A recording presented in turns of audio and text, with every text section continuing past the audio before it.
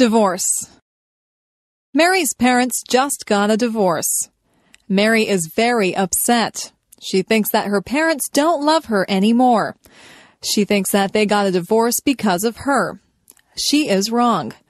Her parents love her just as much as they always did. They aren't getting divorced because of Mary. Sometimes marriages just don't work out. It isn't really anyone's fault. Marriage isn't easy. It is hard for two people to stay together for a lifetime. Sometimes people change as they get older and they move on. Some people have perfectly good marriages and they stay together for their entire lives. Divorce doesn't happen because the parents don't love the children anymore. A lot of children feel that it is their fault, but it isn't their fault at all. Children neither cause the divorce nor can they prevent it. It is up to the parents. Divorce isn't the end of the world. Children can still see both parents and stay with them. Life goes on. Sometimes children can get new stepmothers or stepfathers.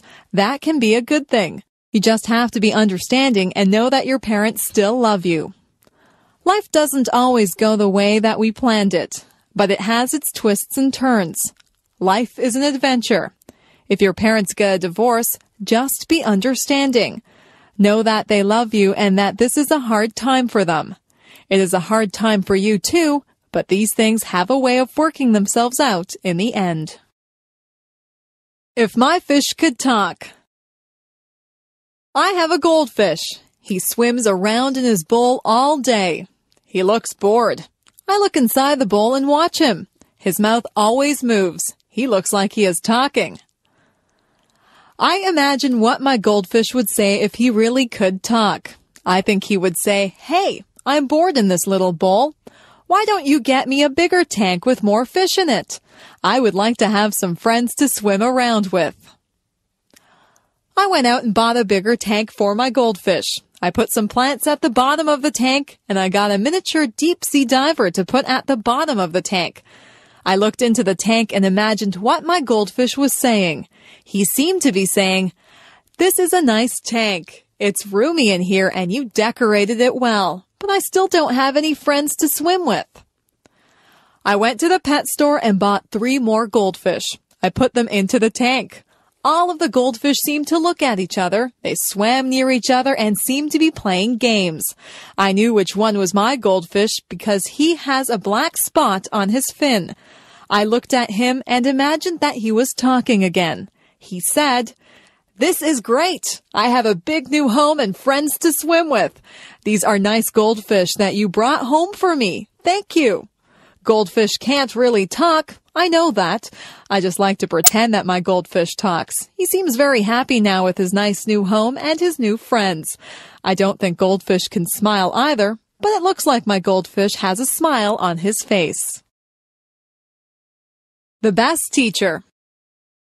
I have had a lot of teachers. Some of them were good and some of them were boring. There is one teacher whom I remember very well. He is the best teacher that I ever had. His name was Mr. Alban. He was a history teacher. History is not my favorite subject. I don't really enjoy history a lot. When I was in Mr. Alban's class, he made history seem exciting. He was more of an actor than a teacher. If he was describing a war, he would make us feel all the emotions that the soldiers and their families would have felt. We could almost hear the guns firing and the people shouting. He would paint a picture in our minds that was very vivid. When I had a history test in his class, I didn't have to study much. I would remember every word that he had said. I would see him doing the actions that went along with his stories. He was very animated. He would shout out orders as if he was a general, or he would speak softly and reverently when describing the death of a great hero. The most important thing that I learned from Mr. Alban was that I did really like history. I just thought that I didn't like it because most people had made it dull by just reading from the textbooks. History is not just a series of dates and dull facts. History is what really happened. History is real life. All the historical figures had real families and emotions. They weren't just fictional people. After I took history from Mr. Alban, I realized that I really did have an interest in it. He was my favorite teacher, and I will always be grateful to him for making me aware of just how interesting history really is. Weather. Sometimes I watch the weatherman on television.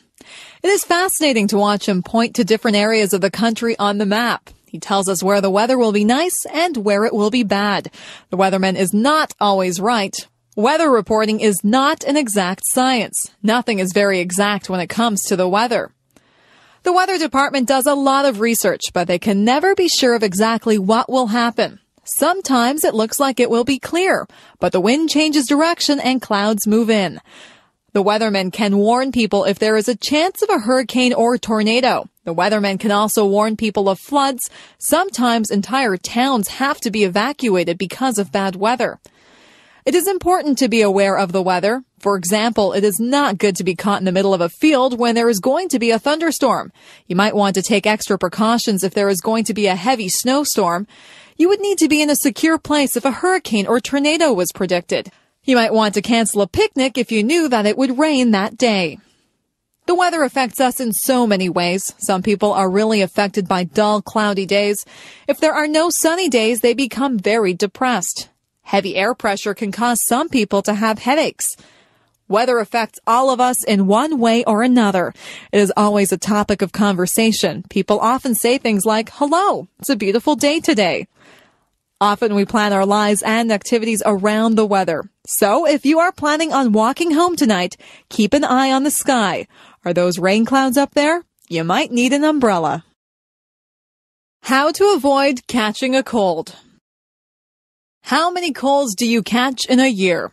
Most of my friends catch quite a few colds. They cough, sniffle, and sneeze. They carry around tissues and blow their noses all the time. Their eyes water and they have scratchy throats. I don't get many colds. In fact, I can go for a whole year and never catch a cold. This is why I consider myself an expert on how not to catch a cold. I'll tell you how to avoid catching a cold. I think that you need to take a lot of vitamin C. I eat a lot of fruits and vegetables. I drink fruit juice too. I also take vitamin C pills. Whenever I begin to feel a cold coming on, I make sure that I have taken my vitamin C pill and I drink a lot of orange juice. That usually knocks the cold right out of my system. I make sure that I get a lot of fresh air. In the winter, a lot of buildings are shut up tight so that the air is stale and people's germs circulate through the buildings. I get outside and breathe in fresh, clean air. If somebody is rude enough to cough or sneeze right in front of me without covering his or her mouth, I just hold my breath for a second. I'm not sure if this works or not, but I don't want to breathe in anybody's cold germs. Many germs are passed through hands. It is important to wash your hands thoroughly if you touch anything in a public place. If I hold a banister while I'm walking down the stairs, I think of all the people who have used that banister, and I make sure that I wash my hands before I eat. Doorknobs also have a lot of germs on them. Money is another thing that is passed from hand to hand and is covered with germs. Sometimes I see people stick money into their mouths. Just think of all the germs that you would be putting into your mouth if you did that. If you just give it a little bit of thought, you can avoid a lot of germs that cause colds. If you eat good food and stay fit, your body will be able to fight off the germs that causes colds and other diseases. It is not always possible to avoid colds, but if you do catch a cold, drink plenty of fluids and get a lot of rest. The future. I sometimes wonder what life will be like in the future. Life has changed so much in just the past few years. I'm sure that there are still big changes that are coming. Do you think we'll still drive cars? Maybe we'll get into computerized vehicles that we won't have to drive. We'll just push a few buttons and the vehicles will take us to wherever we have to go. Maybe there won't be roads. We might just fly through space to get where we want to go. Instead of telephones, we'll just use our computers. We'll be able to see each other when we talk. That type of thing is already happening. Maybe we won't have to cook our meals. We might be able to push buttons to order whatever we want. A nice roast beef dinner or an ice cream sundae might just pop out of a machine. Would be nice to have a robot to clean the house for you. In the past few years, computers have been extremely important. People used to write to each other through the mail. Now people communicate so much more frequently through email. Most of my friends own computers. If we had all of these things to do the work for us, what would we do? We would still need people to program the computers. We could spend more time being creative rather than doing everyday chores. The future holds many surprises. I'm sure that technology will become even more and more amazing. When my parents were young, they had never even seen a color television. Nobody owned a computer. It doesn't take long for things to change a lot. Who knows what amazing things are in store for us?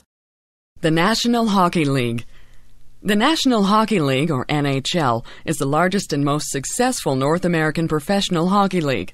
The NHL provides Canadians and Americans with the highest caliber and most entertaining hockey on the continent.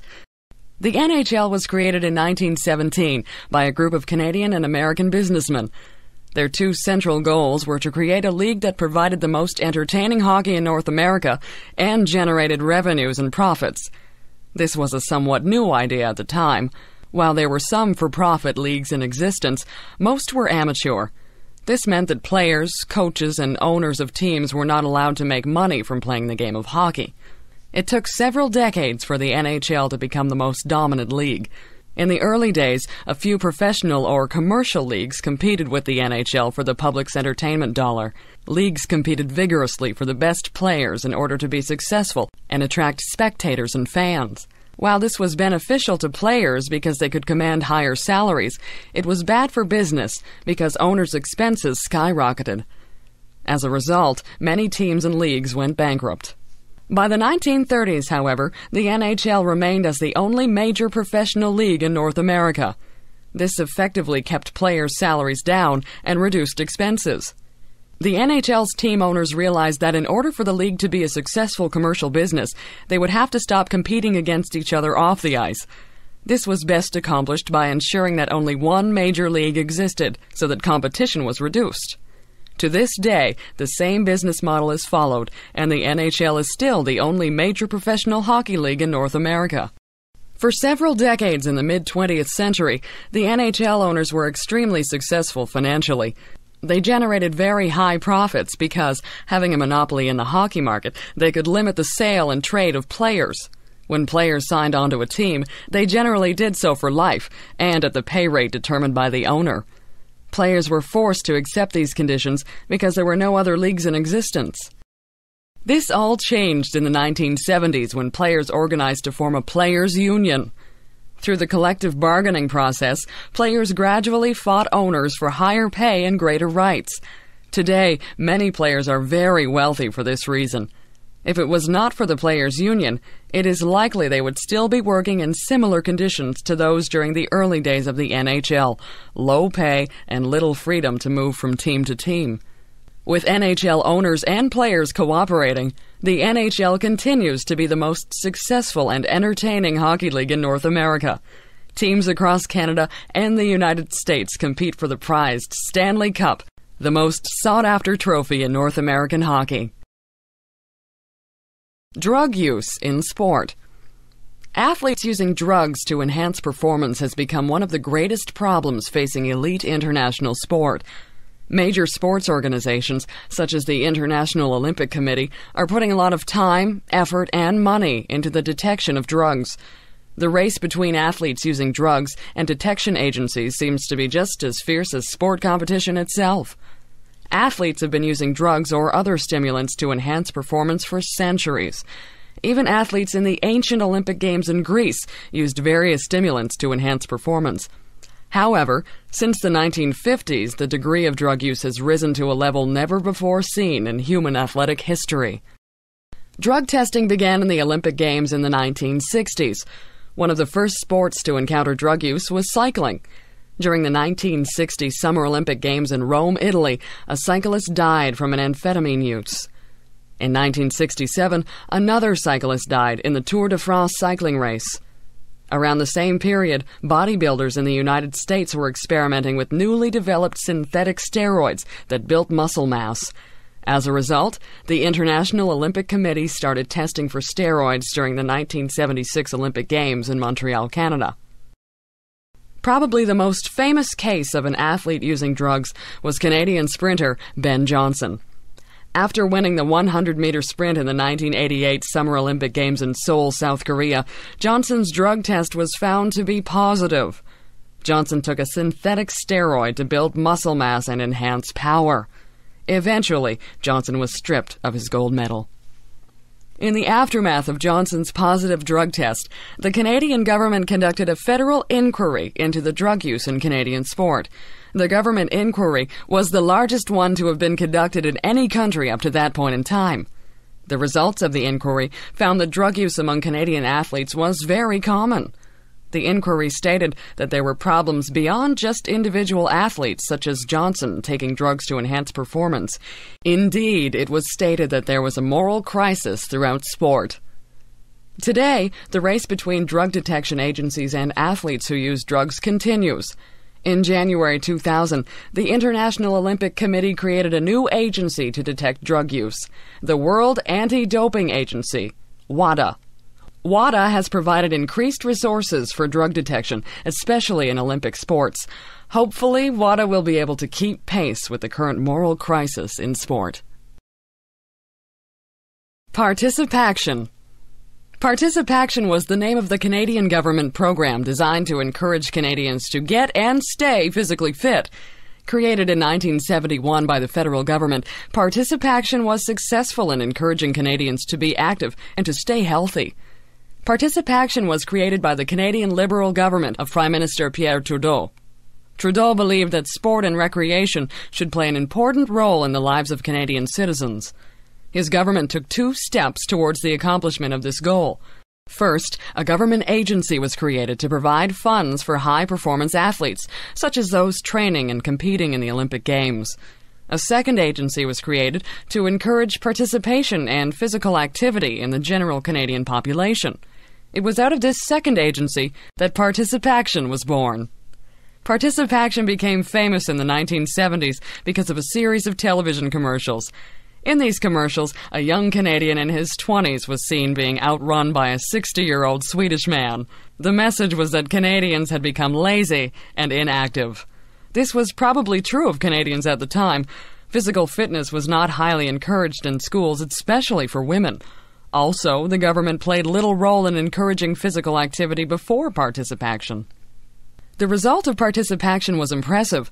Canadians became more active in the years following the program's inception. Also, fitness and activity were encouraged through physical education programs. Participaction was seen as a positive program because it got Canadians active while reducing healthcare costs caused by inactivity and poor physical conditioning. Recently, Participaction was terminated by the federal government because of a lack of funding.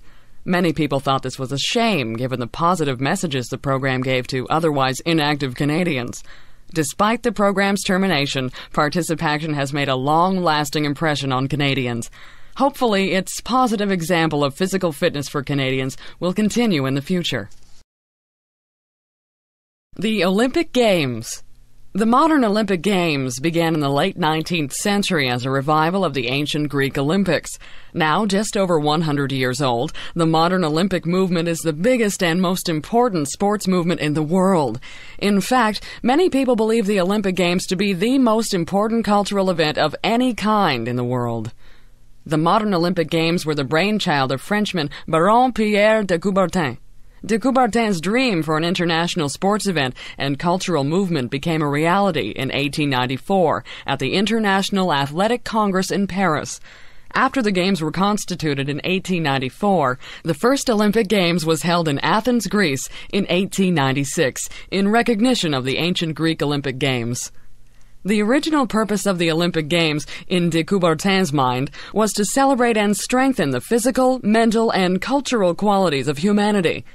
The games would blend sport with culture, tradition, and education.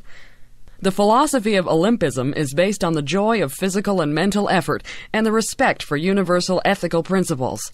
De Coubertin envisioned creating a more noble and sympathetic humanity through the Olympic movement. The sports events themselves de Coubertin modeled after the English public school sports system. He saw in upper class English boys' sport the qualities of camaraderie, nobility, and honesty. Most importantly, however, was adherence to the rules of sport, in particular, the rule that stated sport ought to be amateur in nature.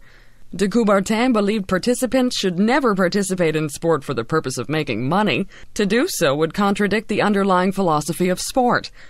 Breaking the amateur rule in de Coubertin's time was as serious a violation as taking drugs to enhance performances in today's world of sport.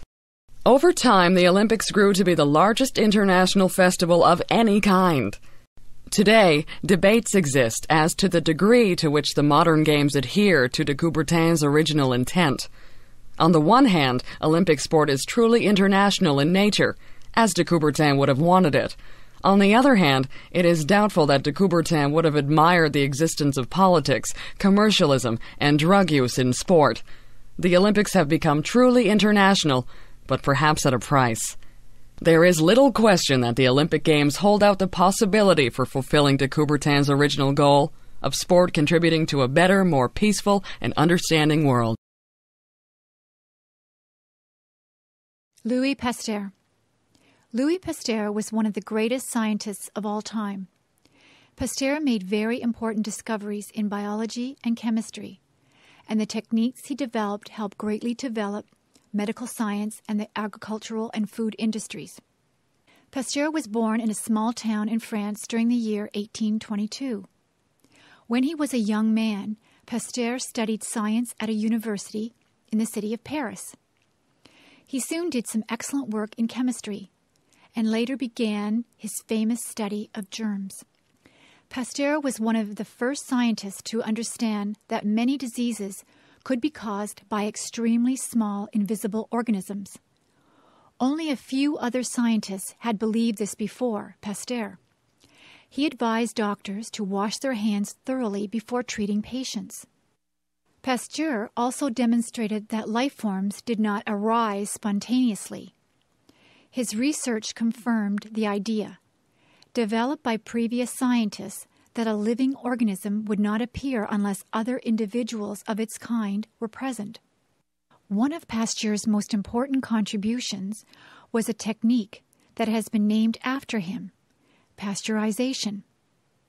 Pasteurization kills the germs that are found in drinks, such as milk or beer. Because of Pasteur's technique, people are no longer infected with diseases by drinking these liquids. Just as important as pasteurization was a technique called immunization. Pasteur found that a person or animal could be made safe or immune from a disease by injecting the person with some weakened germs that cause the disease. The body can resist the disease after being immunized in this way. Today, many diseases are prevented by the use of this technique. Pasteur's discoveries also helped to save people who had already been infected with diseases. One such disease is rabies. Rabies is a disease that sometimes occur in animals. This disease usually kills the animal, but before dying, the animal becomes very aggressive and may spread the disease by biting a person or another animal. One day, the parents of a young boy came to Pasteur. Their son had been bitten by a dog that had the rabies disease. The parents knew that their son would die from the disease unless something could be done to save him. Pasteur agreed to help the boy, and the immunization technique saved the boy's life. Pasteur died in 1895. He was greatly admired around the world for his achievements, which have helped all of mankind. Today, Pasteur is considered to be the greatest figure in the history of medicine. Psychology. Are you interested in the behavior of people and animals? If you are, then you might enjoy the study of psychology. Psychology is the study of behavior, but this is a very large area of study. There are several different branches of psychology, each of which studies a different aspect of behavior. Social psychologists study interactions among people. For example, a social psychologist might try to learn about the situations that cause people to behave aggressively. Another question studied by social psychologists is why certain people become attracted to each other. One of the interesting problems in social psychology is conformity. What causes people to behave in the same way and to follow what others do and say? Cognitive psychologists study thinking, memory, and language. One problem studied by cognitive psychologists is how people remember numbers. For example, what is the best way to memorize some numbers? Is it better to repeat the numbers to oneself or try to attach some meaning to these numbers? A cognitive psychologist might also study language. For example, why can young children learn a second language so quickly and easily?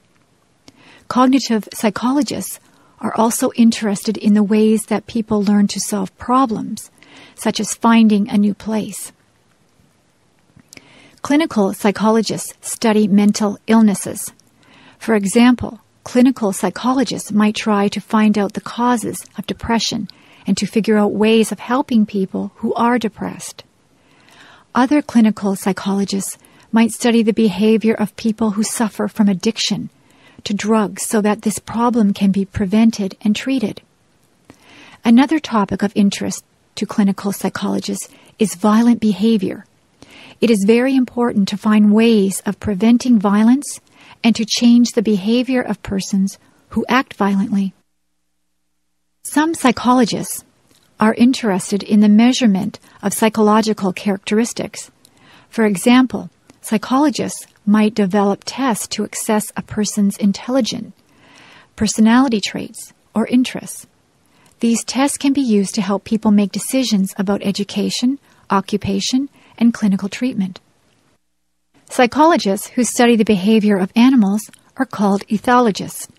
Ethologists often go into the wilderness areas to watch the activity of birds, fish, or other animals. These psychologists try to figure out why it is that some animals have instincts for various behaviors, such as parenting, mating, or fighting. Some ethologists have learned very much about the unusual behaviors observed in many animals. These are only a few of the many areas of psychology. Truly, psychology is one of the most interesting areas of knowledge.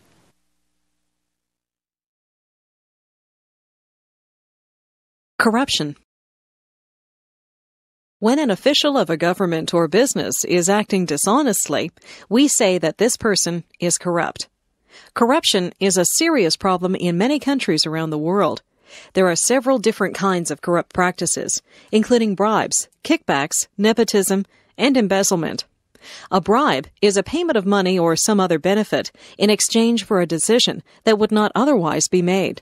For example, an accused criminal might bribe a judge so that the judge would make a decision of not guilty. Another example is that a business owner might bribe a government official so that the official would allow the construction of very unsafe buildings. A kickback is similar to a bribe, except that the official receives some part of the money in a dishonest business deal. For example, governments sometimes decide which company should build a road. A company might offer money to a government official who makes the decision, so that this company will be chosen, even if it's not the best company for the job. Nepotism happens when an official unfairly gives advantages to his or her relatives. For example, a government official might hire a brother or sister to do a job, even though other people would be much better qualified for that job. Of course, all of us want to help our relatives, but it is wrong to do this at the expense of the public. Embezzlement happens when an official secretly steals some money from a company or government. For example, a manager at a company might secretly move some of the company's money to his or her own bank account, and that manager might lie about his or her expenses in order to receive more payment from the company. Corruption has very bad effects on people in several ways. Sometimes it can lead to very dangerous situations. One example of this is when unsafe construction projects are approved by officials who have been bribed. Another example is when criminals are freed as a result of bribes. Also, a country's economy can be damaged by corruption. For example, if companies must pay bribes in order to do business, then they may decide to leave the country. Also, if people's tax money is stolen by corrupt officials, this makes the people poorer. In addition, when company officials are corrupt, it makes the company less able to compete with other companies. How can corruption be stopped? An important step is for each person to decide not to act in ways that are corrupt. People must agree to take this problem seriously.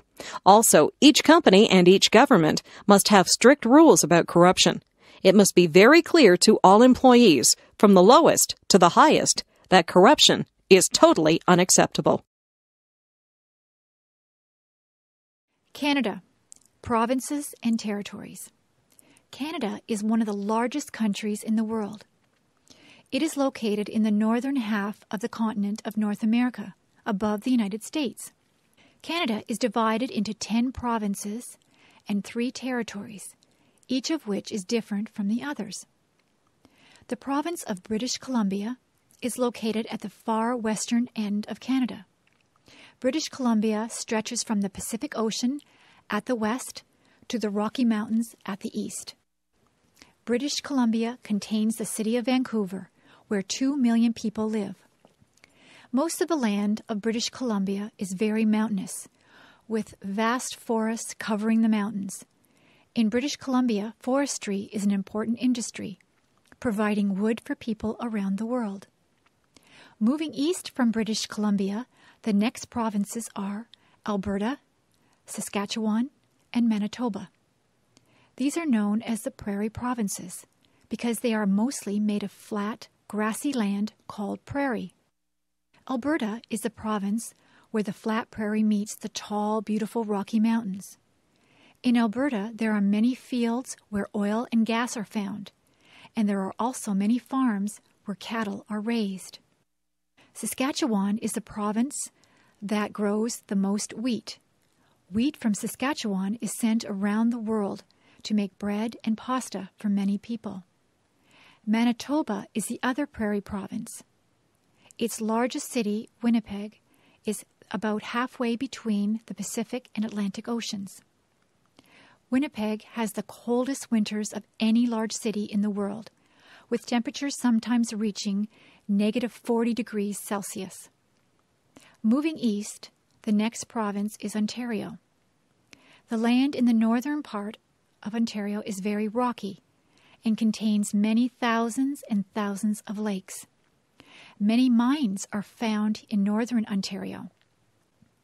In the southern part of Ontario, there is good farmland, and there are also many cities where factories produce cars and steel. Ontario contains Canada's largest city, Toronto, as well as the capital city of Canada, Ottawa. In the southern part of Ontario are four of the largest lakes in the world, known as the Great Lakes. Next to Ontario is the province of Quebec. Unlike the other provinces where most people speak English, most of the people in Quebec speak French. The capital of Quebec is called Quebec City, and this is one of the oldest cities in North America. Quebec City contains many buildings that are hundreds of years old. Also in the province of Quebec is the city of Montreal. Of all the French speaking cities, in the world, only Paris is larger than Montreal. In the eastern part of Canada are the Atlantic provinces, which are next to the Atlantic Ocean. These provinces are New Brunswick, Nova Scotia, Prince Edward Island, and Newfoundland. In the Atlantic provinces, fishing is an important industry. Tourism is also important, as many people come to see the beauty of these provinces. The people in these provinces are said to be the friendliest in Canada. In the far north of Canada are the three territories that lie beside the Arctic Ocean Yukon, Northwest Territories, and Nunavut. Many of the people in these territories are the native people of Canada, known as the Indians and the Inuit. The northern areas have very cold, dark winters.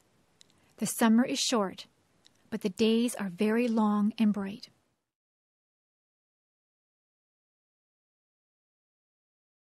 Learning to dance. I went to England with my mother. She used to be a singer in a band. We went to the hotel that she used to sing at. It was a big fancy hotel. Some of the people that she knew when she sang in the band were still there. They remembered my mother, and they had a good time talking to her and remembering old times. Many people told me that I looked like my mother. In the hotel, they had a fancy hall where they had ballroom dancing. I am not used to that kind of dancing. I always dance to rock music.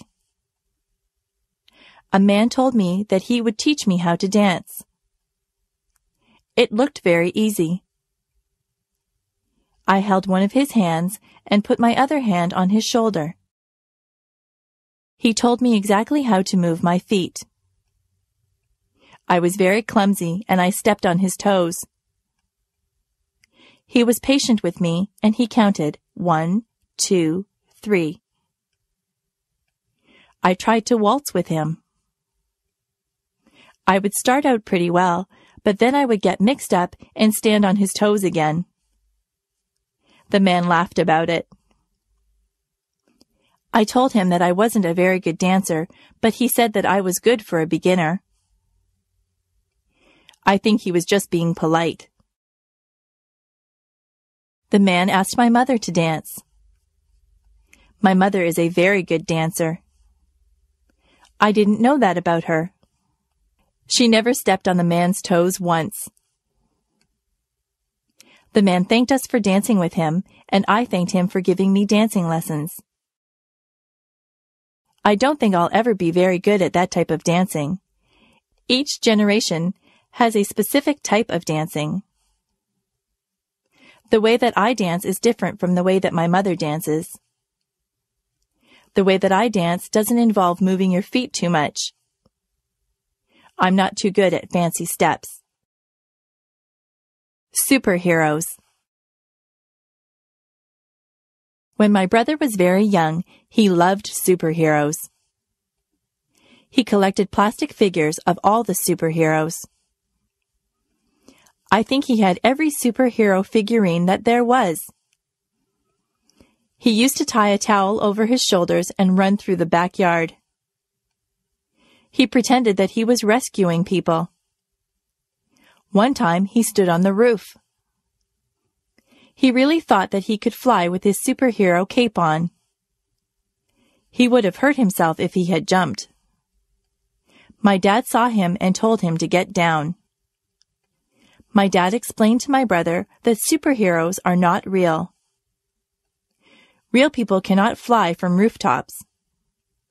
My brother was disappointed. He thought that the superheroes really existed. My dad explained that most superheroes were created as comic book characters. Somebody used their imagination to make them up, and then an artist drew them. My brother was not impressed. He said that he wanted to meet the superheroes. My father told him that he might meet someone dressed up as a superhero, but it wouldn't really be a superhero in the costume.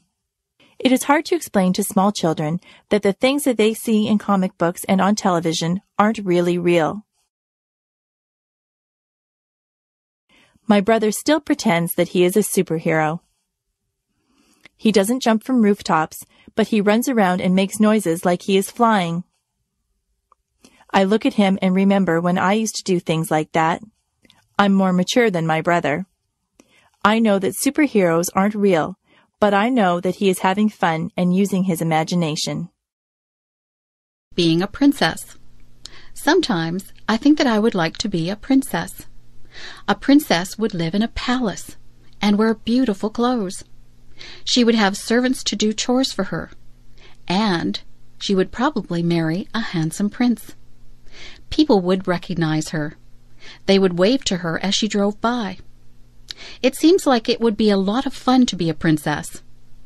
But maybe it wouldn't be so nice. Maybe it would be terrible to be recognized by everyone. Maybe a princess would feel like everyone was watching her. She would have to look nice every time she left the palace. There would always be people with cameras who wanted to take her picture. A princess would have no privacy. Even in her own palace, there would be servants around, so she would never really be alone. If I were a princess, I would worry about security for my family. Sometimes, people who are in high positions are threatened by other people. That would be a worry.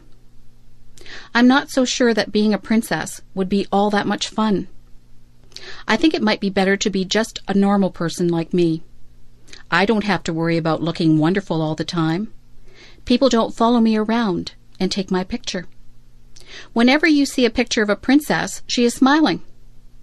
I wonder if she's smiling on the inside or just smiling for the camera. My worst fear.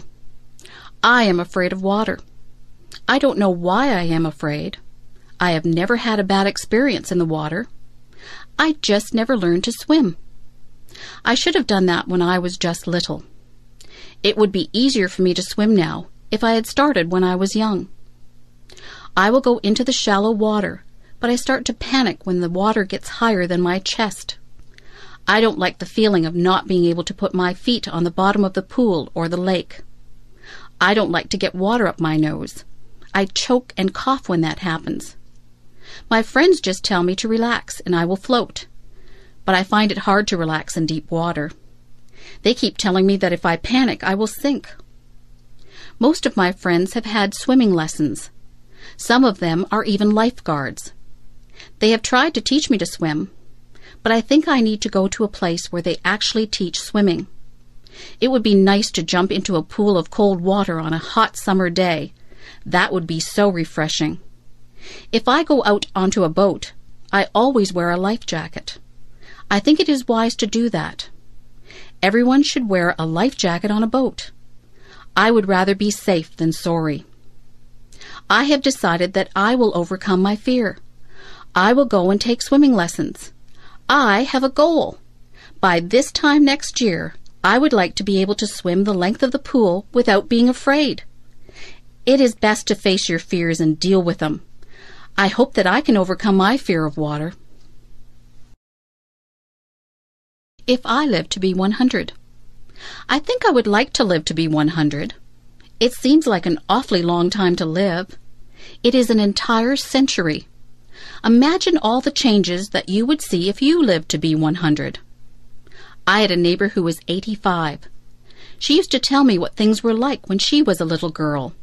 She told me what my town used to look like, what her clothes were like, and what her school was like. I used to enjoy listening to her stories. Everything was so different when she was young. Listening to her was like having history come to life. I used to try to imagine what life was like for her back then. If I was a hundred, and I had grandchildren and great grandchildren, I would tell them stories about my childhood. I would hope that I had a good memory so that I could remember everything. If I do want to live to 100, I'll have to have a healthy lifestyle. Not too many people live to be that old. If I do get to be that old, I hope I'll still be mentally alert and physically agile. In my country, the Prime Minister sends a letter of congratulations to anyone who has their 100th birthday. People who live to be 100 are very special. Maybe in the future, with better medical care and healthier lifestyles, more people will live to be 100. If I live to be 100, I'll have a birthday cake. But I won't put 100 candles on the cake. I could never blow out 100 candles. what I like most and least about myself. I was trying to think up the best and the worst things about myself. I think the best thing about me is that I am very friendly. I have a lot of friends, and they all like me. I try to be good to my friends. I don't often have arguments with people. I think that I am quite easy to get along with. The worst thing about me is that I sometimes feel sad. Sometimes I don't feel sad for any particular reason. I just get into moods where I am depressed. Sometimes there is a reason to be sad. I was sad when my pet frog died. I was sad when I lost my favorite baseball card. On those days, I'm still nice to my friends, but inside I feel like there is a heavy weight in my chest. I think that everyone feels sadness sometimes. I try to do things that make me happy whenever I get into one of my sad moods. Last Saturday, I felt a bit sad, so I called up my friend John and asked him if he wanted to go to the movies. We went to a comedy. We laughed all the way through the movie, so that by the time the movie was over, I didn't feel sad anymore. My friendliness is my best trait, and my sad moods are my worst traits. I have to work at getting over my sad moods more quickly. Being sad doesn't do anyone any good. There is no use in feeling sorry for oneself. Stars in the Midnight Sky. Twinkle, twinkle, little star, how I wonder what you are. Up above the world so high, like a diamond in the sky. Twinkle, twinkle, little star. This is a little poem song I always say when I'm outside and I see the stars. When I see the first star of the night, I always say this one. Starlight, star bright, first star I see tonight. I wish I may, I wish I might, have the wish I wish tonight. Do you have a special thing to say about the stars? Stars are beautiful bright spots in the sky. Stars are usually seen at night when it is dark. We can't see them in the daytime because the sun is so bright, the brightest star of all. I like staying up late just to look at the stars. One time I was outside at midnight and the stars seemed to sparkle and dance. They really did look like diamonds dancing in the sky. If you watch the stars long enough, you may see a falling star or a shooting star. I have seen both. A falling star is where the star just seems to drop, and it leaves a trail of what appears like stardust. A shooting star is very beautiful. It shoots across the sky, leaving a long trail of colorful stardust. Shooting stars seem to brighten up the whole sky. They usually seem quite close to Earth. Have you ever watched the stars and got the urge to reach out and touch them, or even join them in their secret dance? I wonder what it'd be like to see a star up close. Would it look like the moon? Maybe one day when I am older, I will go up in a rocket ship and visit the dancing stars in the midnight sky. Music A song comes on the radio. My lips start to move, singing along. My fingers start to snap, my feet begin to tap. The music sinks deep into my soul. I listen to the music as it fills my brain, and I remember when I used to sing. I sang in front of huge crowds. I loved it when they watched me and clapped for me when I was finished. Letting out my feelings when I was sad, mad, happy, or glad was when I would sing. I sang in the shower, I sang in the rain, I sang in church, I sang walking down the street. Music has always been a big part of my life. It seems like I was a baby when I started playing the piano. I would sit on my sister's lap while she played the piano, and I would bang on the keys. I remember sitting beside her and learning how to sing. I sang my little lungs out. As I grew, I listened to other singers on tapes, the radio, and CDs. I took those things that I had heard from different singers and made myself sound like them. Soon I could take what I had heard all my life and make it into my own sound. I have always liked singing jazz and blues. I don't listen to jazz and blues a lot, however. I listen to pop, rock, classical, and some country.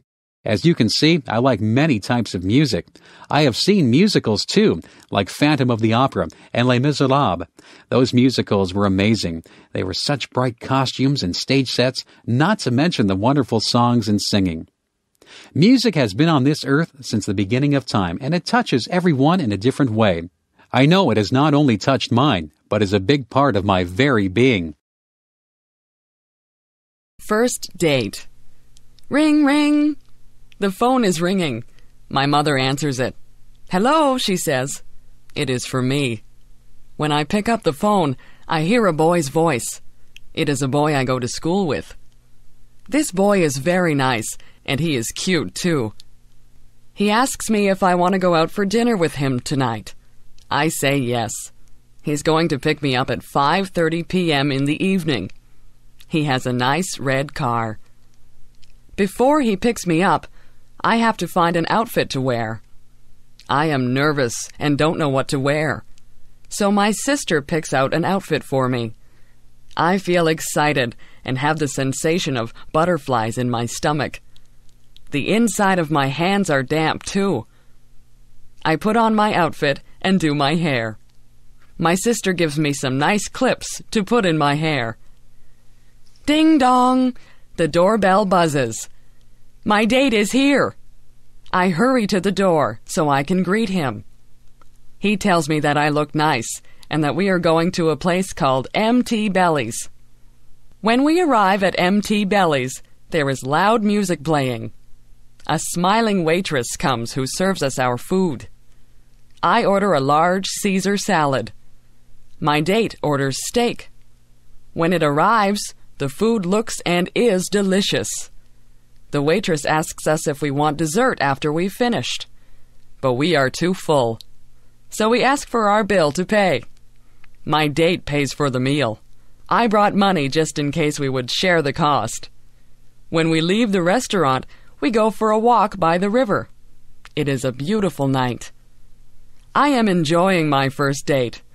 I am laughing and having fun. It is time for us to go home. So my date takes me home. I smile and thank him for the great time. I hope he'll ask me out again. University. It's time to sign up for school. This year, Natalie is going to Brock University. She has never been to university before. She is a little bit scared. She hopes she meets nice new friends. Natalie stood in line to get her picture taken. The picture was put on a card. The card was her picture ID, identification. She would use this card if she needed to buy books from the school bookstore, if she wanted to get a book from the library, or if she wanted to use the pool.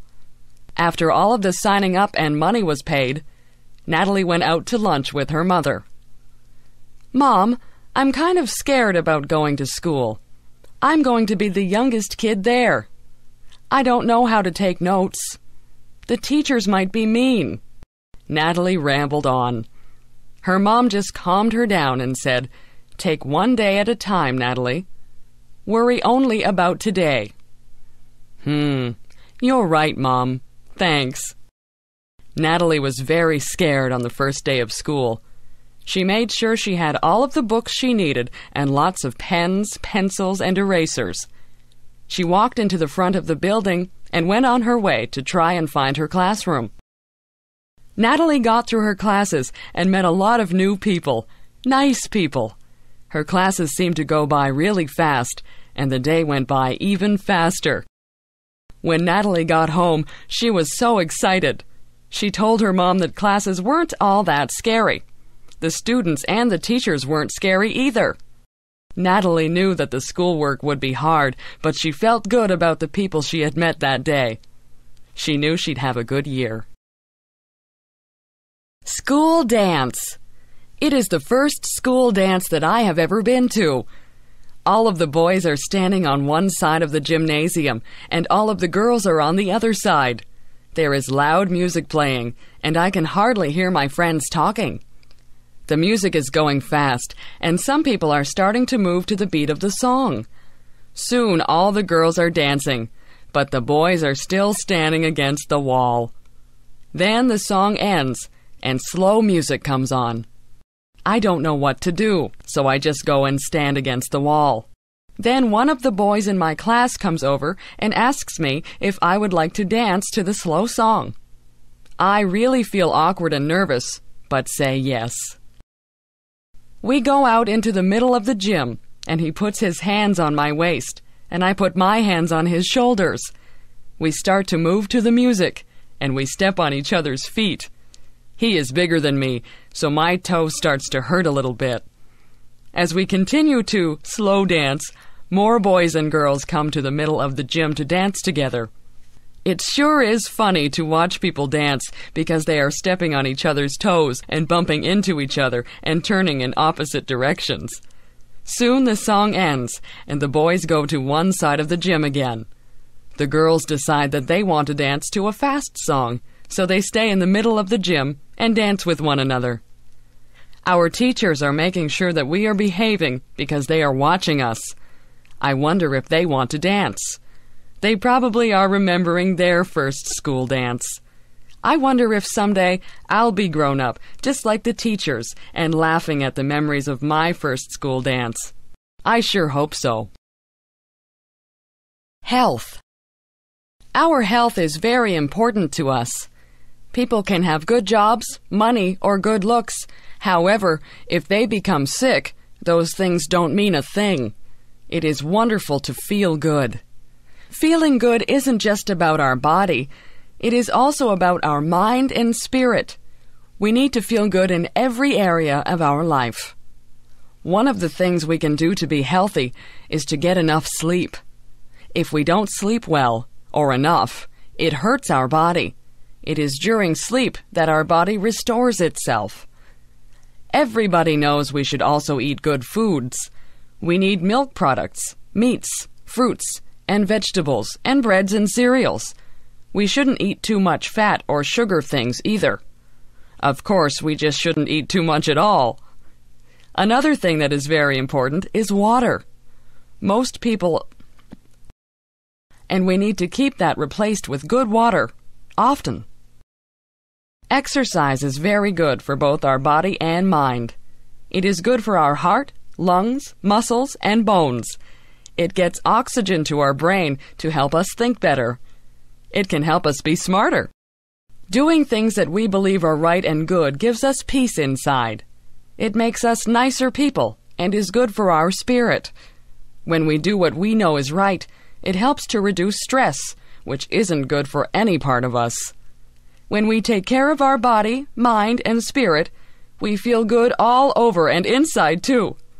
What a beautiful world this would be if we could all work at doing these things for ourselves and also trying to be a help to others.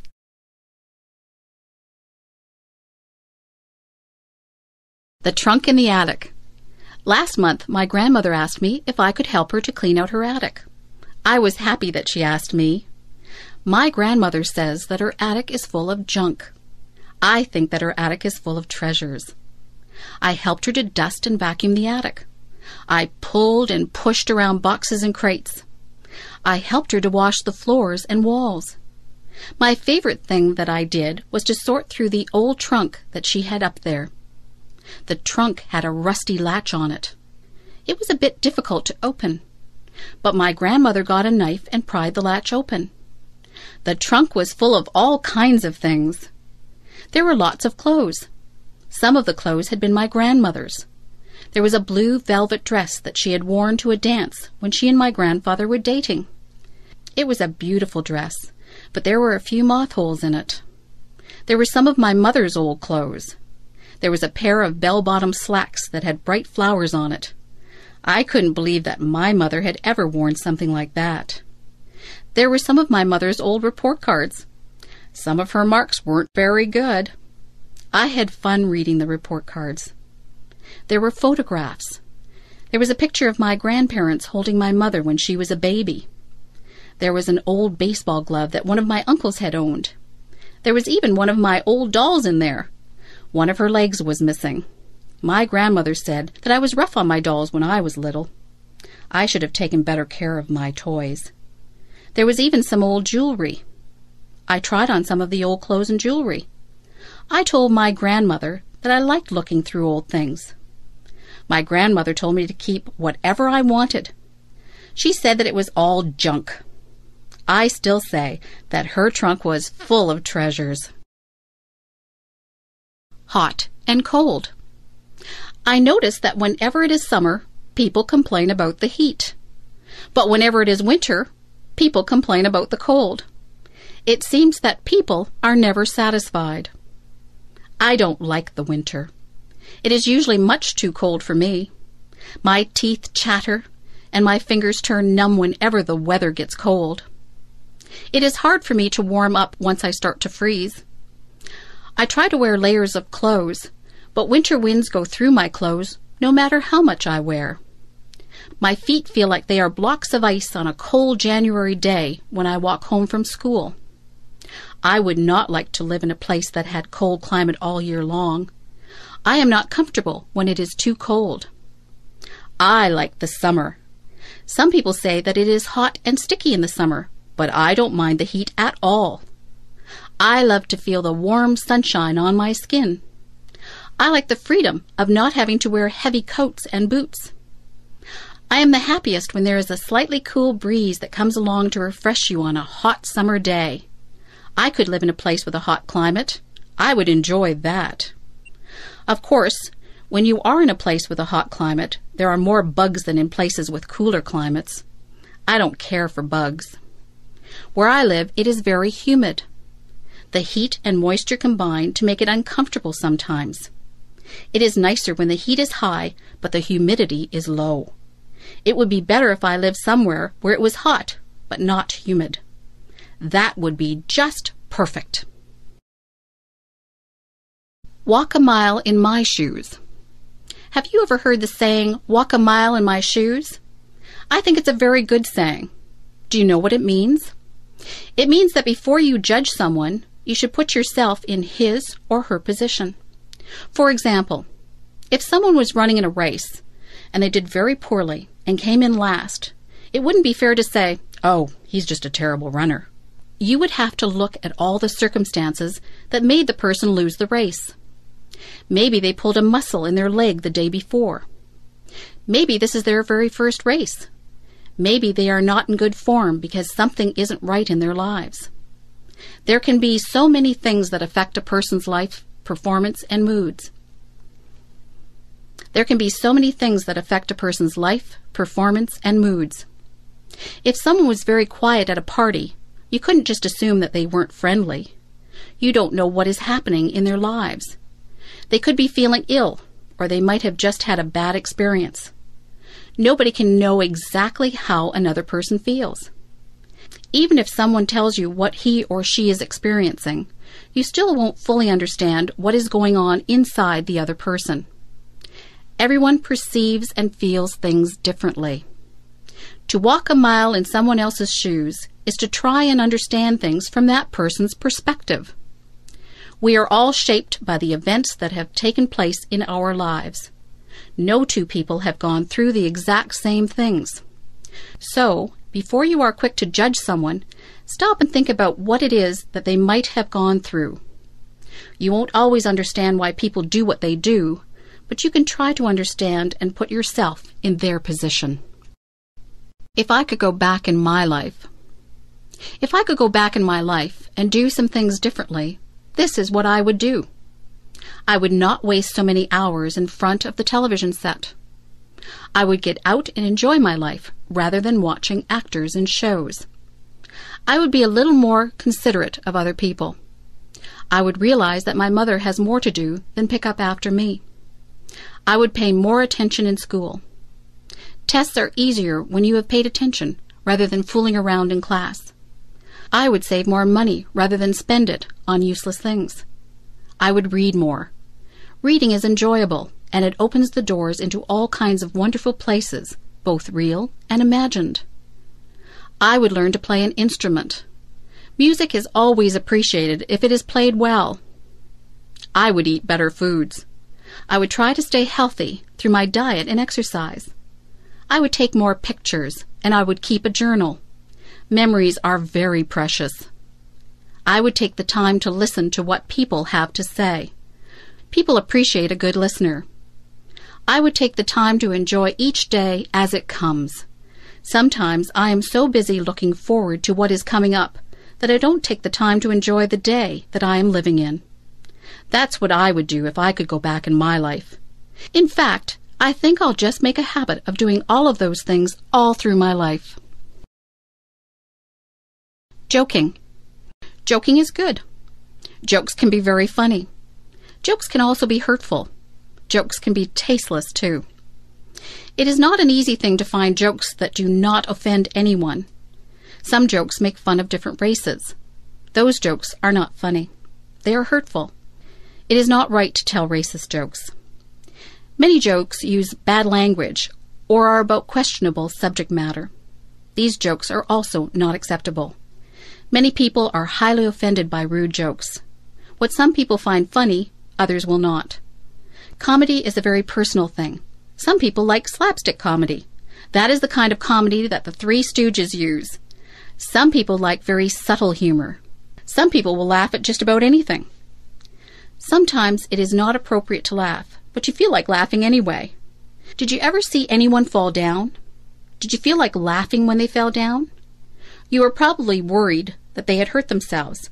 Yet the way that they fell was so funny that you felt like laughing. It's not funny when someone falls, but you can't help but laugh even though you try to hide it. Jokes and comedy differ from culture to culture. Many people from other countries come here and don't understand our comedy. Jokes and comedies are often geared toward our environment. Sometimes comedians make fun of the things that we do in our day to day lives, like going to the bank or going grocery shopping. We can all relate to that. Being a comedian is not an easy job. Telling jokes and making people laugh is extremely difficult. Jokes are fun, and they are funny if they are good. Jokes can get you into a lot of trouble if they are inappropriate, and sometimes they're just not funny and nobody laughs. Here's a joke. Why does the cow wear a bell? Because its horns don't work. Do you get it? Do you think it is funny? Well, maybe it's not that funny. I told you that it was difficult being a comedian. Drugs. There are two different types of drugs. There are legal drugs and there are illegal drugs. Legal drugs are the type of drugs that the doctor gives you when you are sick. Illegal drugs are the drugs that people sell on the street. Illegal drugs are very dangerous. If someone ever wants you to try any type of substance that you are not sure about, you should always say no. People who sell drugs on the street are criminals. If they get caught, they will be sent to jail. They sell drugs to get money. They don't care that people's lives are ruined from taking drugs. If you take illegal drugs, you can become addicted to them. That means that you just have to have the drug no matter what. Some people steal from other people to get money to buy drugs. Drugs affect your mind.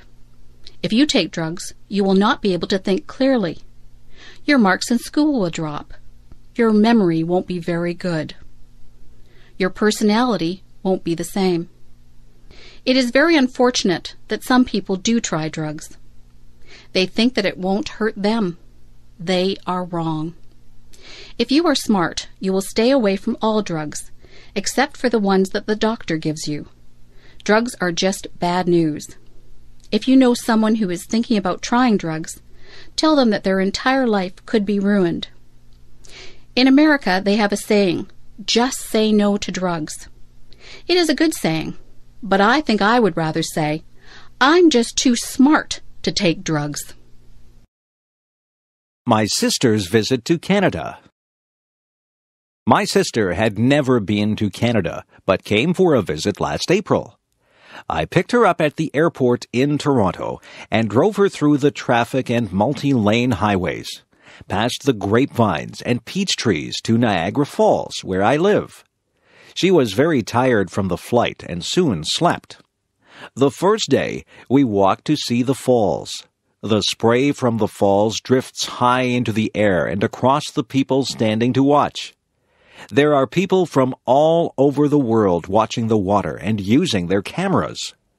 Because it was April, there was still ice beside the water, huge chunks of ice that looked like white rocks. In the river, there were floating pieces of ice moving downstream. The next day, we went to the town where the Niagara River joins Lake Ontario. The weather was warm. We walked a long way, and our feet were hot so we went down to the edge of the water to put our feet in. One toe in was enough. The water was so cold it made our feet ache. A piece of ice drifted beside our feet. I put one foot in for a second, then out, as the pain of the cold went right through me. My sister could not understand how it could be so warm, but there was still ice. Another day, we went to see my daughter. She is living on a farm, an hour's drive away. We walked through her trees. The buds were starting to turn into leaves. We stopped and looked at the spring wildflowers. We climbed across a creek by walking over a fallen tree. We saw the footprints of raccoons by the water. There was fresh air and sunshine and blue sky. On the way home, we stopped for hamburgers and fries at a drive-through restaurant. She had never been to a drive through restaurant before. Then we went to a donut shop. There are no donut shops where she lives. There was a choice of 20 different types of donuts, some round, some with holes, some with frosting, some with jam inside. Each was different. The days passed quickly, and soon it was time to take her back to the airport. Some of the trees now had leaves. Some of the tulips were now blooming. It was hard to say goodbye to my sister. I hope we can visit again soon. A Summer Sunday Today the sun was warm. The sky was blue with a few white clouds. It was a good day to pick strawberries. It was a good day to go to the beach. I drove to a pick your own farm where people can pick their own fruit and buy it. There the fruit is very fresh and delicious. The owner of the farm gave everyone a row to pick their strawberries. Everyone was wearing sun hats. I knelt down on the straw between the rows and picked the big, juicy red berries. I tasted one. It was warm from the sun. When I bit into it, the juice was sweet and strong. When three big pails were full, I went to pay for them and picked up some recipes for some strawberry desserts. I packed two of the pails in a cooler with some ice, and the other one we would eat at the beach. I met my daughter at the beach. She had a soft pink blanket on the sand. This beach is beside a lake and across the lake, about 50 kilometers away, the large city can sometimes be seen. Today, the wind blew cooler air across the lake over the people on the beach. There were children playing in the water. One man helped his son dig holes in the sand, and the water ran into the holes. One lady held her children's hands and walked down into the water. Families climbed over the rocks and sat on the last rock where the water was deep. Teenagers rode bicycles and rollerblades along the path beside the beach.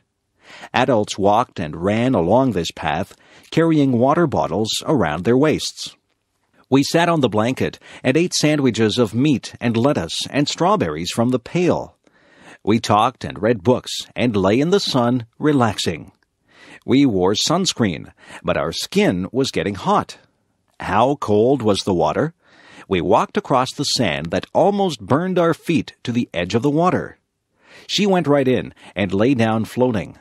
I put my toes in and felt the chill through my body.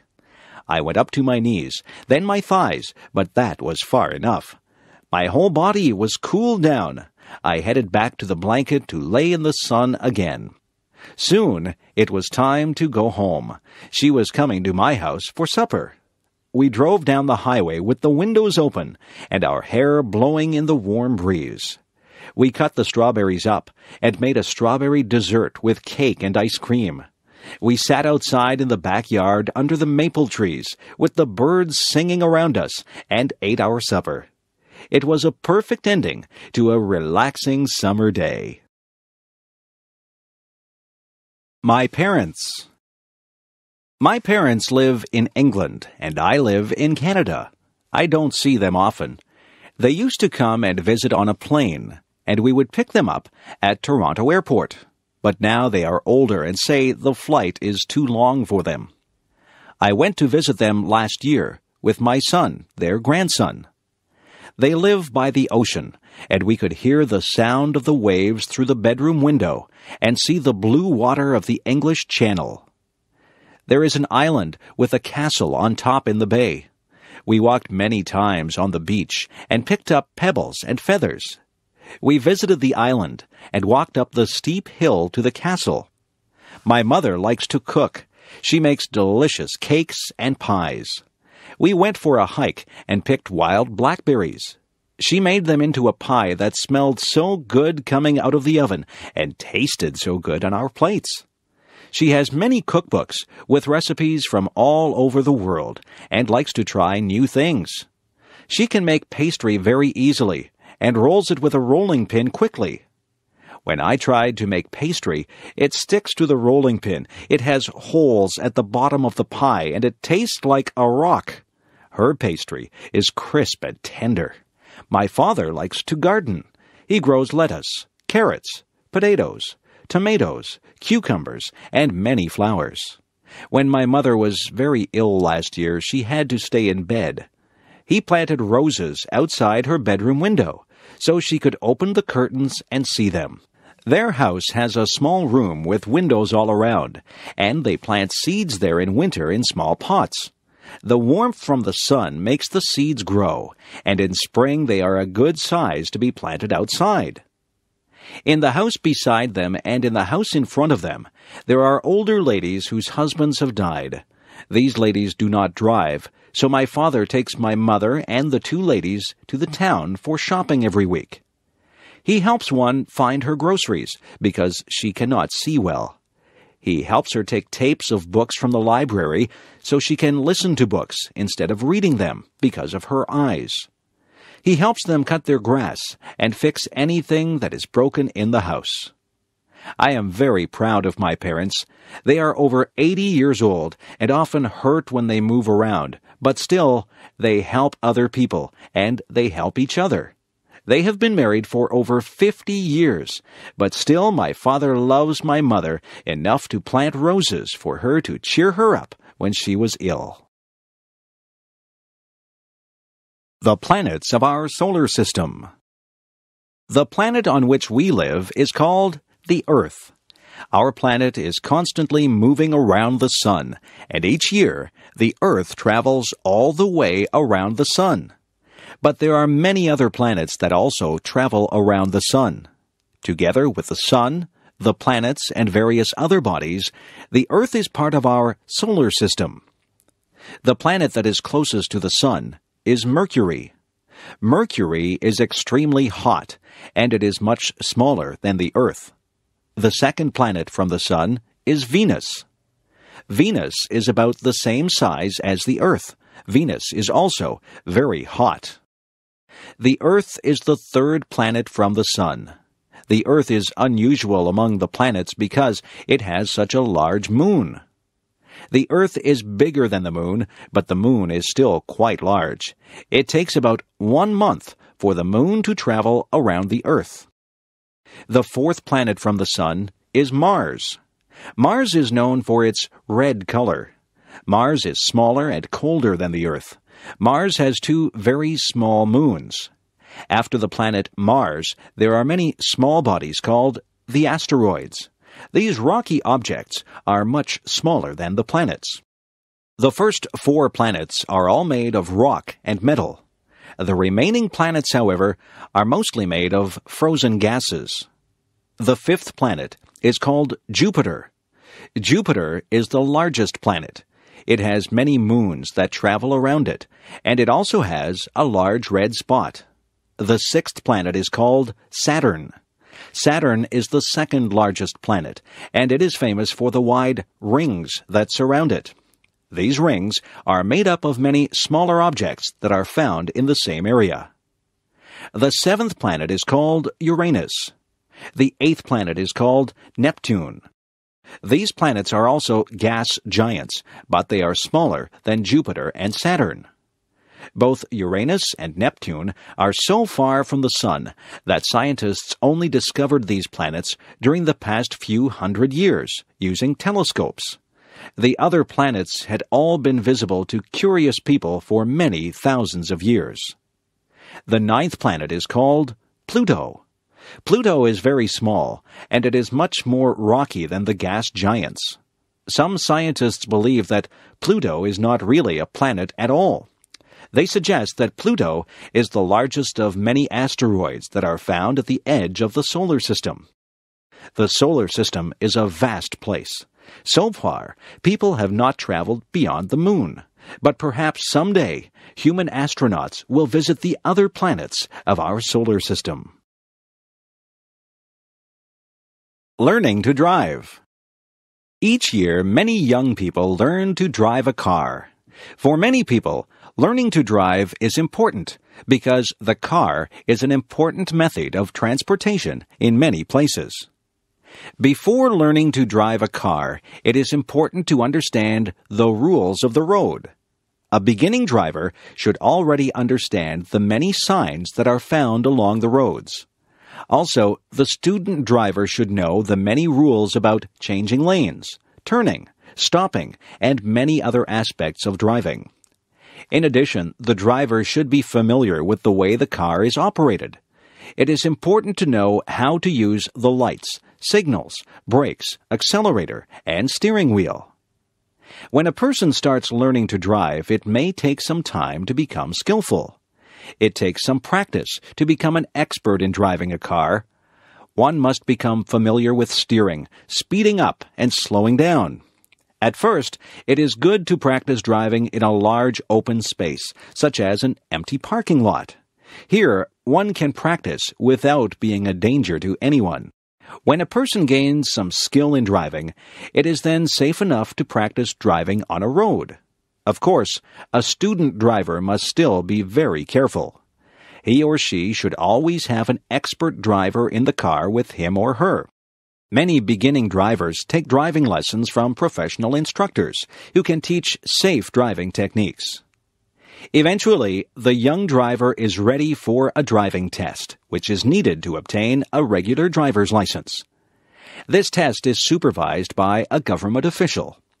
In the driving test, the driver must show that he or she can control the car with great skill by being able to make turns and to park the car in small spaces. But he or she must also show respect for the rules of the road by driving at a proper speed and obeying all traffic signs and signals. Of course, even when one has obtained a driver's license, it is always important to drive carefully and responsibly.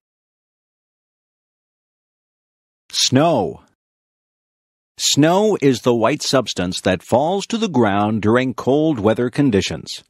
Each tiny piece of snow, called a snowflake, is a very small amount of water that has frozen into an unusual shape. During the winter months, huge numbers of snowflakes fall to the ground, covering the land in a white blanket of snow. In many parts of the world, people never see any snow. Snow only falls when there is moisture in the air, and when the temperature falls below the freezing point of water, which is 0 degrees Celsius. During the winter, snow falls instead of rain. One advantage of snow is that it allows many fun outdoor activities. Children like to play in the snow.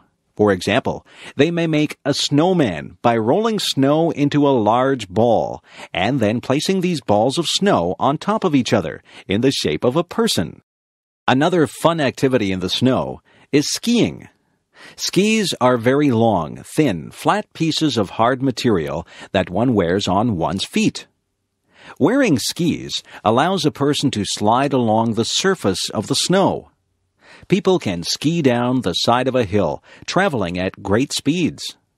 Many people find the sport of downhill skiing to be very exciting. Some people like to ski along flat ground, often traveling great distances. This sport, called cross country skiing, is an excellent way to develop physical fitness. Of course, snow also causes some problems. Snow can make driving dangerous because falling snow makes roads slippery, and on a windy day, blowing snow can make it difficult to see very far. It can also be a lot of work to remove snow from the roads and sidewalks. Snow is a heavy substance, and it must be cleared away using a shovel or a large machine. Many people love the beauty of the land when it is covered by snow. The white covering of snow over the fields and trees can give a feeling of peace and calm. If you have never seen snow before, you should someday experience this strange and wonderful substance. My friend in the next office. When I started my job a year ago at the university, I did not know my way around. I did not know where to find anything. I had a million questions. But Diane in the next office took me on a tour showing me the places to eat, the library, the lecture rooms, where to get a picture ID card, how to get from one building to another. When I had a question, I asked Diane how to use the telephone, where to make copies, where to print with my computer, the location of my mailbox. She teaches as I do. We both spend a lot of time helping students and answering their questions. She giggles a lot. I hear her laugh with her students. Sometimes she asks my advice about her work or about a problem, and I ask her advice. Sometimes she comes into my office and says, I am really angry. Can I whine to you? Then she talks about a problem, and I listen. And then she returns cheerfully to her office. Sometimes I go into her office and say, I'm upset about something that happened. Can I come in for a minute? Then I grumble to her, and she listens, and then I go back cheerfully to my office. Each of us feels better when we have shared our problems. Then they are no longer problems. Diane is shy in a group of people. She is quiet and does not start a conversation. Everyone around her talks, and she listens. On Friday afternoons, she makes popcorn for everyone. We all sit in the staff room and eat microwaved popcorn and drink tea and talk. We start to relax for the weekend and talk about our plans. She is a good friend. She helps my students when I am not there. She wishes me good luck when I go to a lecture. I am very glad that she can be my friend in the office beside mine. The Musician There once was a little girl named Rain Angel. She loved to sit at the piano and play. Rain Angel was a very gifted girl. She had a voice that gave people shivers, and she loved to sing. As Rain got older, she continued to love music. Rain became involved in the choirs and bands at her high school. She loved performing in front of people. She couldn't help but feel the sense of power she had when she was up on stage, and there was always loud clapping when she finished a song. Rain soon went out on her own and looked for someone that could help her become famous. Rain wanted to share her talent with the world. She felt that her special talent for music helped people feel good. Rain went out into the big world and she did very well. She was always performing her best, and someone finally noticed her. Her new agent helped her to make her first album. Rain became famous because she never quit trying. Rain loved her new way of life. She continued singing and playing her piano. She was even taught how to write her own music. Rain Angel had always dreamed of becoming a celebrity. She always remembered her friends and family when she was famous because they had always believed in her. Rain Angel strove for a faraway place and it became her reality. She always believed that what she wanted to become was her choice. She believed that if you have the strength and determination, you can make your dreams come true. The circus. Wow! A big tent was in the middle of the town's parking lot. We were going to a three ring circus. I couldn't wait for it to begin. Inside and outside of the tent, toys, balloons, and food were being sold. All of the children were so very excited. Inside the tent, we found good seats so we could see everything. The band started to play loud music, and the ringmaster came out with a big tall hat on his head. In one ring, there were small animals, dogs, monkeys, and parrots doing tricks. The dogs were dressed in funny clothes, and so were the monkeys. They rode on bicycles, danced, and climbed ladders. There were wild tigers and lions in a big round wire cage. A man with a whip was inside the cage with them. He had them trained to jump through a hoop of fire and to roll over. He even kissed them. He was very brave. During the break in the middle of the circus, funny clowns came out and did silly things. They had happy faces and sad faces. Some had big red noses that honked if you squeezed them. There were rides on elephants too. I didn't go on one because it cost too much money. The last act took up the whole tent. It was the acrobats. They hung from their teeth, their feet, and their necks high up in the air. They also swung high up in the air and flew to each other. It's kind of scary to watch because I was afraid they might fall. I had a very good time at the circus. However, my tummy felt kind of sick from all the cotton candy and junk food I ate. Going to the grocery store. Each week, I go to the grocery store to buy food for my family. I get a shopping cart from the front of the store and I push the cart all around the store. The cart is large, but when I am finished shopping, the cart is nearly full. The grocery store is also called a supermarket. When I go shopping, I start out in the produce section of the supermarket. The produce section is where the fresh fruits and vegetables are kept. I like to buy different kinds of fruit, such as apples, oranges, and bananas. The vegetables that I often buy are carrots, peas, and corn. I also buy tomatoes when they are bright red in color. I often buy a bag of potatoes or a bag of rice. After visiting the produce section, I go to the meat section. Here I buy poultry, such as chicken and turkey. I often buy seafood, especially fish. I also buy beef, and sometimes pork or lamb. I also visit the dairy section, where I can buy milk and cheese. Sometimes I also buy ice cream or yogurt. When I have finished in the meat and dairy sections, I then move to the bakery section. This is where loaves of bread are baked and sold. There are many different kinds of bread in the bakery section. The bakery section also sells pasta, such as macaroni and spaghetti.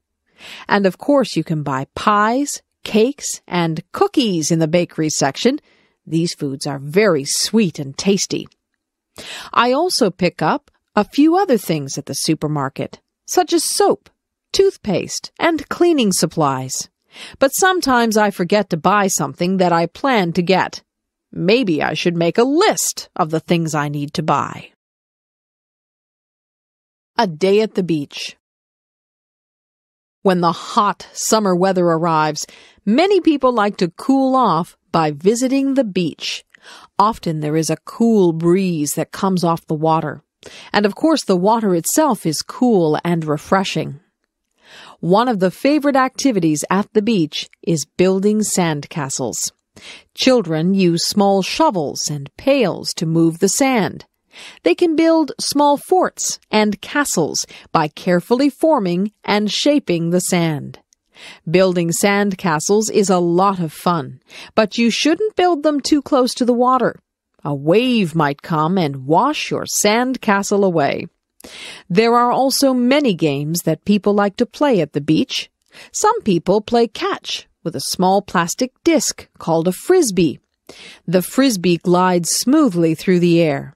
Other people like to play beach volleyball in the soft sand. Some people prefer just to relax on the beach. They like to lie down on a blanket and feel the warm sunshine. I like to sit on the beach with an ice cream cone, but you have to eat it quickly before it melts. Of course, the main attraction of a beach is the water. Many children learn to swim at the beach and enjoy playing in the water. Some people like to swim vigorously. Other people like to relax in the water on an inflatable floating mattress. Other people just wade around in the water as a way to keep cool. When it is a windy day, some people try sports, such as surfing. Going to the beach is surely one of the best ways to spend a summer day. Making cookies. Mmm, something smells good. My friend's mom is making cookies. They are chocolate chip, my favorite. I think I'll go home and ask my mom if we can make cookies too. I run all the way home and rush through the door. I yell, Mom, Mom! She comes out from her bedroom, her eyes wide.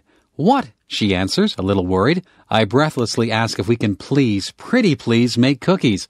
She smiles and says, I guess so. Yes, I reply. First, Mom tells me to get out the cooking stuff. So I get out the mixer and bowl, the measuring cups and spoons, and the cookie sheets. Then she tells me to get out the recipe book.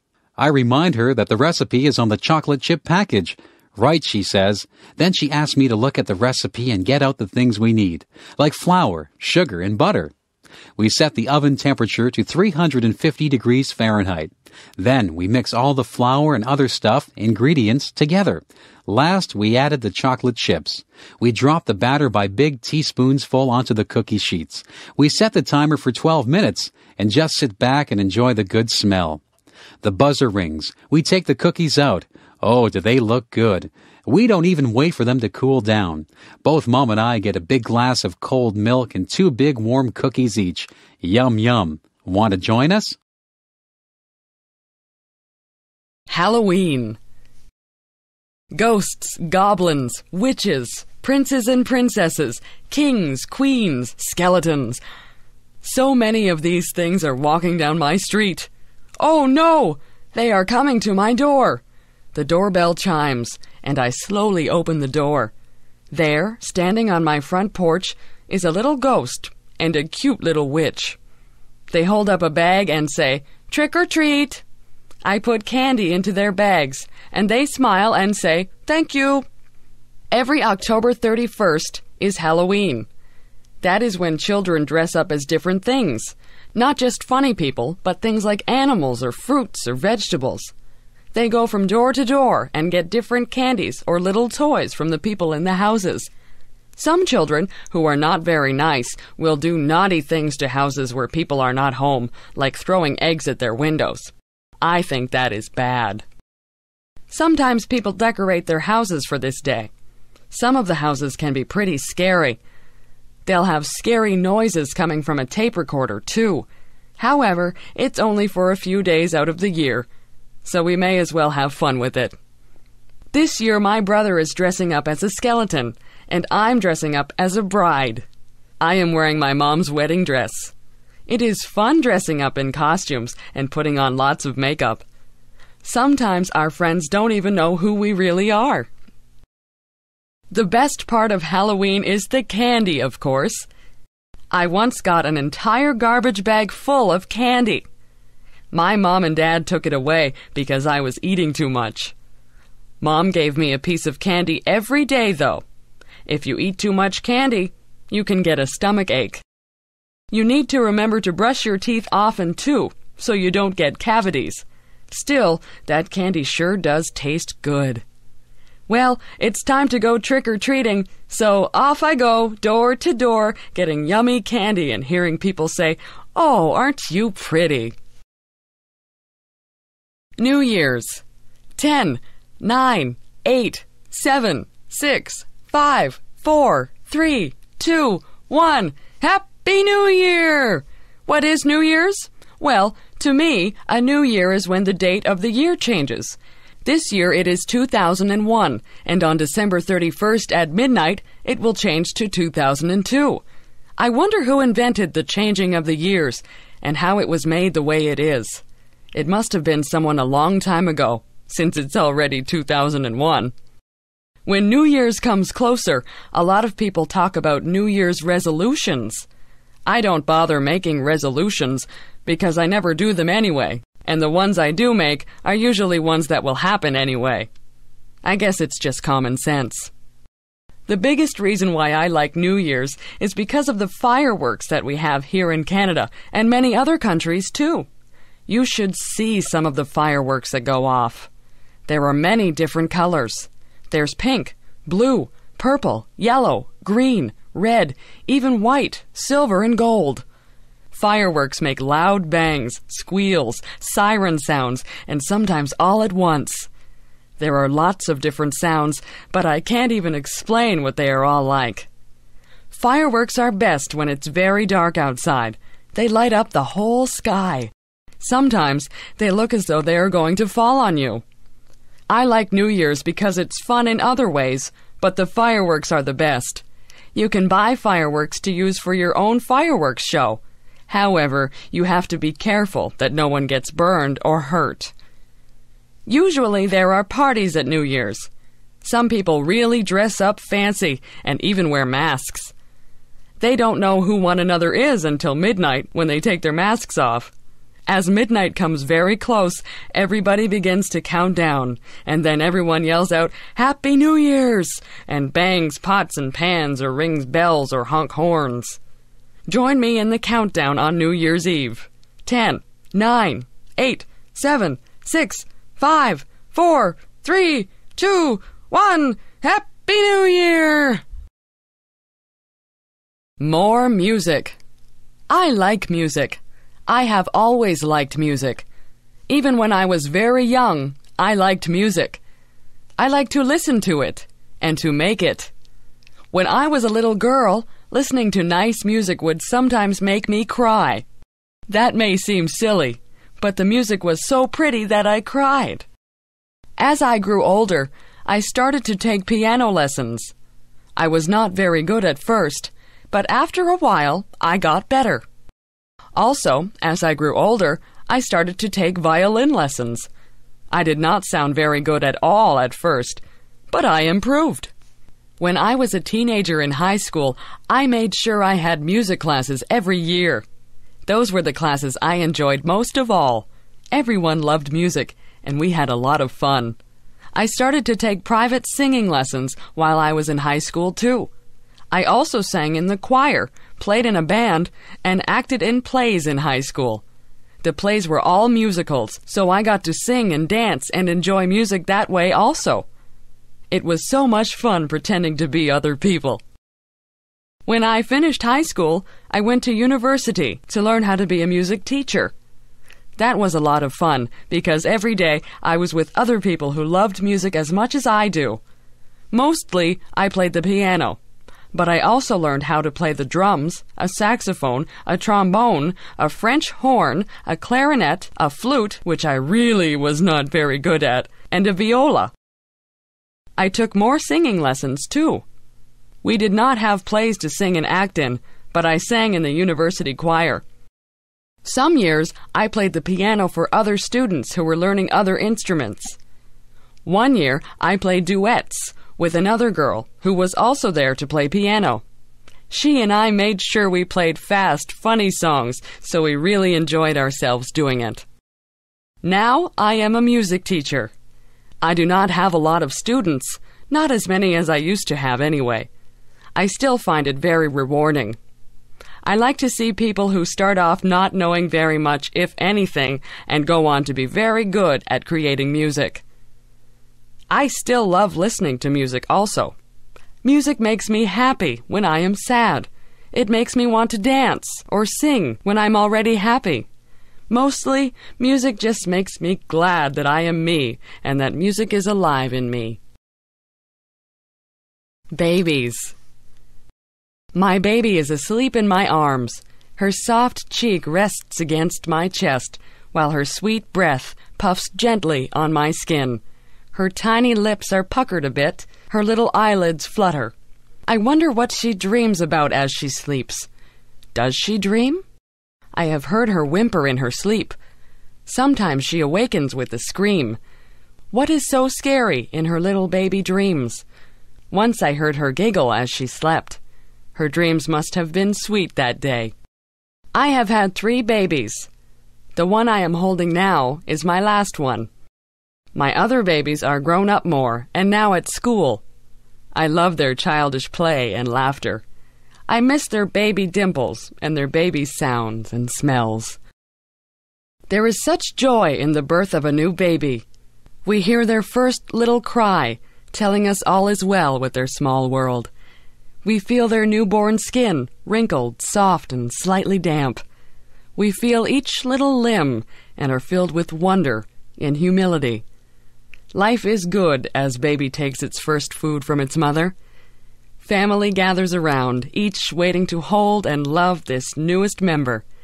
Each time the baby cries, its mom worries, and their bond becomes stronger.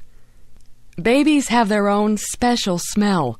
Some have described it as milk and innocence. It is the sweetest smell on earth, I think.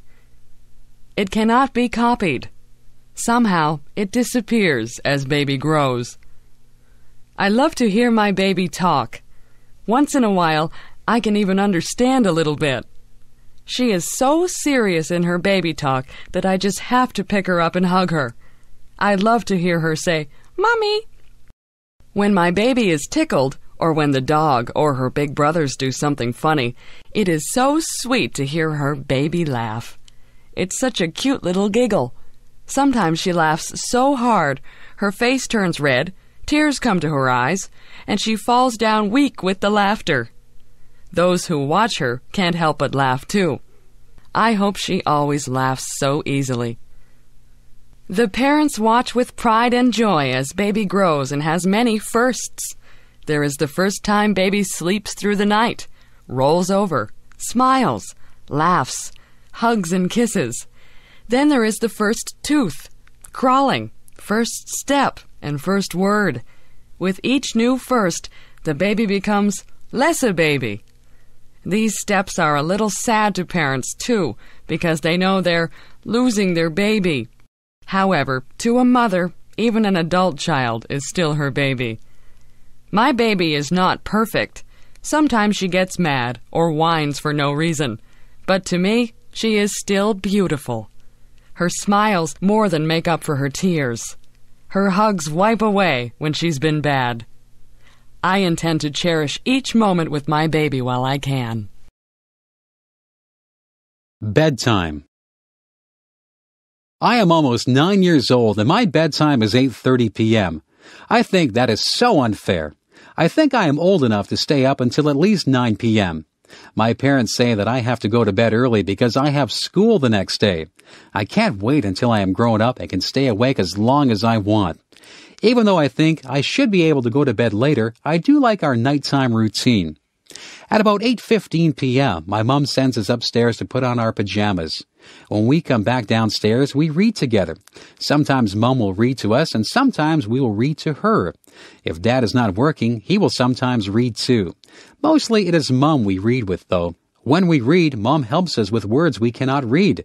We have to try and sound the word out, but if we are really stuck, she will help us. If we come to a place in our reading where we do not understand the meaning of what was written, we stop reading and look at Mom. She will tell us what it means or help us figure it out on our own. After we are finished reading, we say goodnight to everyone in the house. First, we say goodnight to Mom and give her a hug and a kiss. Then we do the same for Dad, then our little sister, and then our dog. Afterwards, we go upstairs and brush our teeth. I have to do special stretching exercises for the muscles in my chest and legs, or I get pains when I run and play. I do my stretching before I get into bed.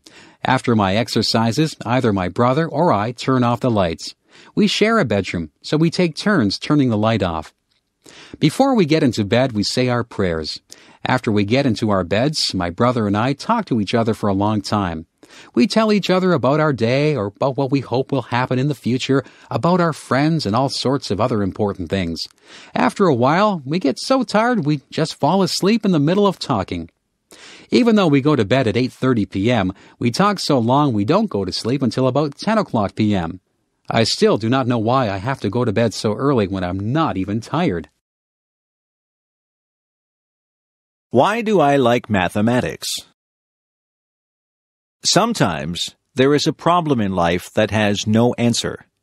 Perhaps a child has trouble learning. Perhaps someone becomes ill. Perhaps there was love, but now there is conflict. These problems are hard to solve. There is no single answer. Many people have opinions on what is the best answer. But in mathematics, there is an answer, a single answer that is right. There is no doubt. There is no argument. This answer is right. If we ask, what is 5 plus 7? The answer is 12. If we ask, how do you raise a child? The answer would depend on the child and the parents. Sometimes there is more than one way to reach an answer. Imagine we want to find the area of a triangle. The triangle has a right angle. The two sides surrounding the right angle are 20 millimeters and 30 millimeters. The formula for the area of a triangle is one half of base height. we could consider the 20 millimeter side as the base and 30 millimeters as the height. We could consider the 30 millimeter side as the base and the 20 millimeter side as the height. Both ways would produce the same answer. The area is 300 square millimeters. Alternatively, we could consider the base as the third side of the triangle, and then we would have to draw a height and measure it. The height would be neither 20 nor 30. But still, we would end up with the same answer. In math, the answer does not change. Another reason I like math is the way it brings order. There can be a whole set of numbers or a whole set of measurements that mean nothing until mathematics organizes them into a pattern. An average number can be found. Graphs can be drawn. The spread of the numbers and probabilities of a certain number happening can be calculated. This is like having a whole lot of dirty dishes after supper. Applying math is like washing and sorting the dishes and putting them back into the cupboard. Math is a powerful tool. Math should be our friend, and we will find more ways to use it to better our lives.